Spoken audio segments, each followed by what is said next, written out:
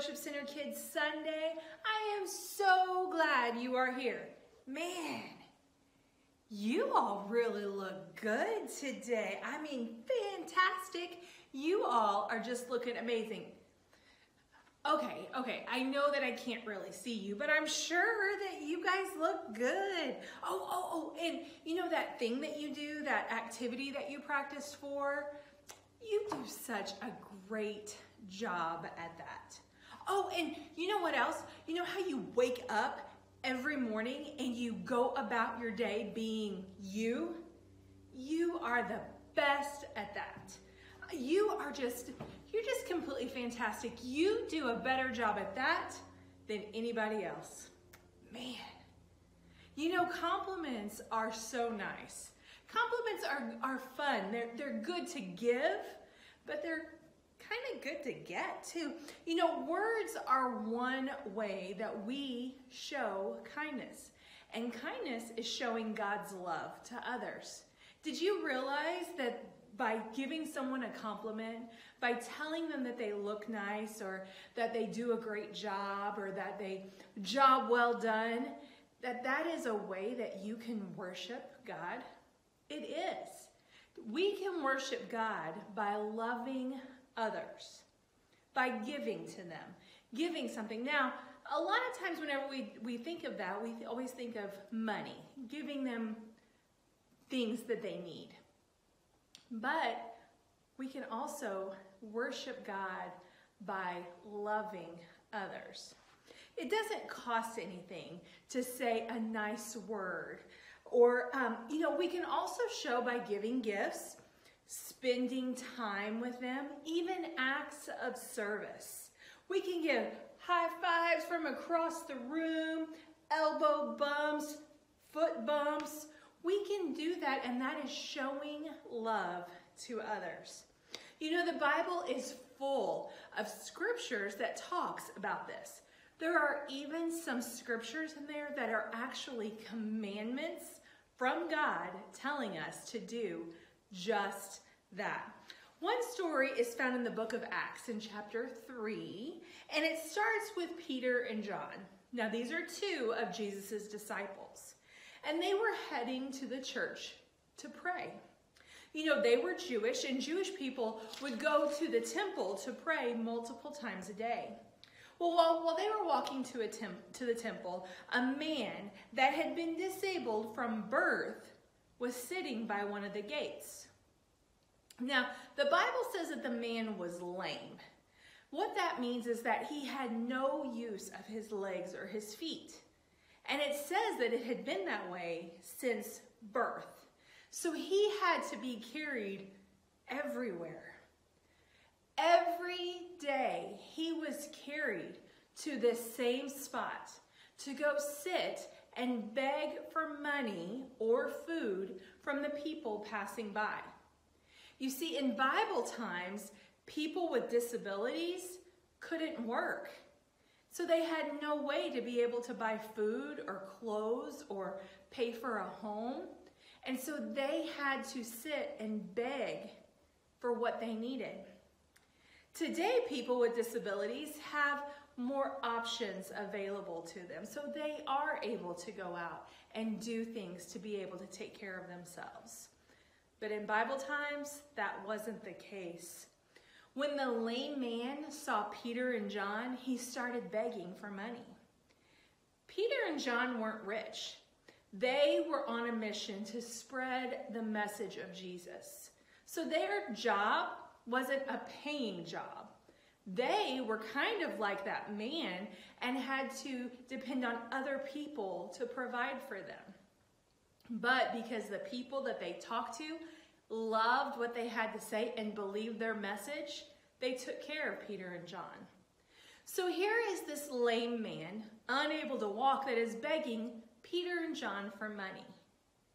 Peter and John didn't have any. And Peter stopped and he told the man, he said, Look at me. Look at me. Like, hey, I need your attention. I have no money to give you. well, that man was like, well, what's the use? Move on then, right? Why even stop and talk to me then? If you don't have any money to give me, I, ha- I, I can't, I have nothing. The man needed, he had a need for food and he needed money to get that food. Why would Peter even get his hopes up by stopping and talking to him? Peter had something better for him. He had a promise. Peter had a promise. If Peter would have given him money, that would have lasted one meal, maybe two. What Peter had was going to last him the rest of his life. He had a promise, and he knew that Jesus could heal, and he had Jesus living inside of him. He said to the lame man, Get up and walk. Now, wait a minute, hold on, hold on.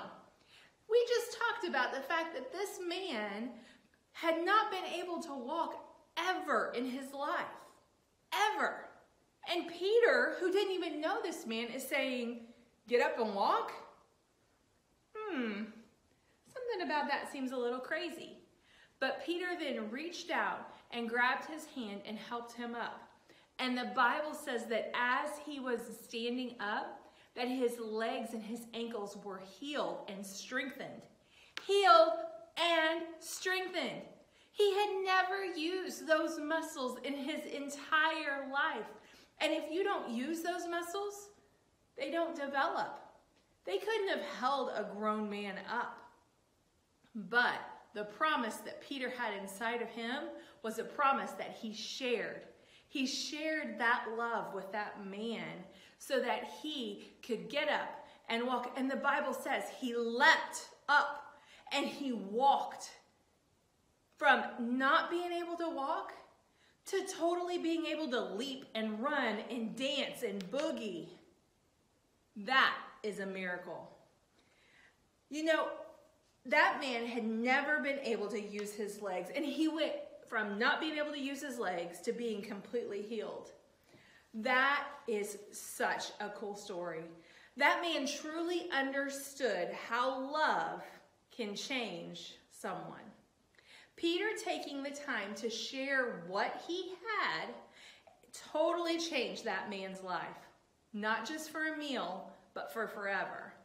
Now, God might not use you to heal someone from not being able to walk, but He will definitely use you to maybe heal somebody on the inside. Showing love has the power to change people and really help them when they need it. It shows others that they aren't alone. A lot of times, it's hard to show love. Maybe that maybe you're mad at someone or maybe that person was mean to you. Why do we have to be nice? But we don't know what's going on in their life. And we have to show love. By us showing love to them, we could very easily be helping them heal from a situation. And the Bible tells us that if we are showing love to others, that that is a way that we can worship God. It's not always easy, and we have to work extra hard at it. Some days more than others.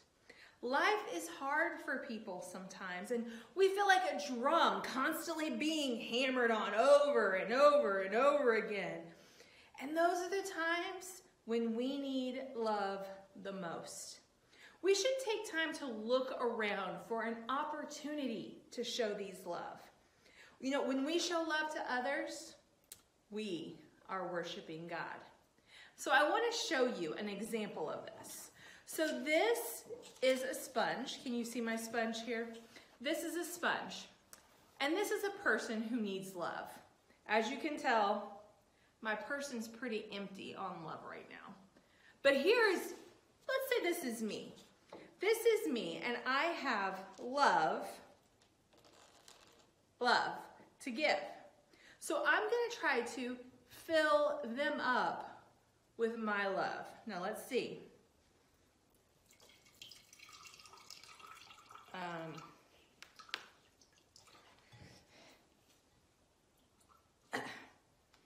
There's a little bit more. Hold on, let's see. I used all the love I had. Do you see that? Hmm. Well, that person's life might be a little bit better. But let's say another person comes along and I just poured all my love into this person. Do I have anything left to give? A couple drops, maybe. But you know what's so cool about it? Is the fact that whenever we are worshiping God through giving love to others, we have more than enough love because we have God's love that we can continually pour into others and continually encourage and uplift. And although it might be hard, although that person might reject it at first, you can continue to pour. And once all the love is out of you, you know God will refill you in order for you to be able to continue to show that love. How cool is that?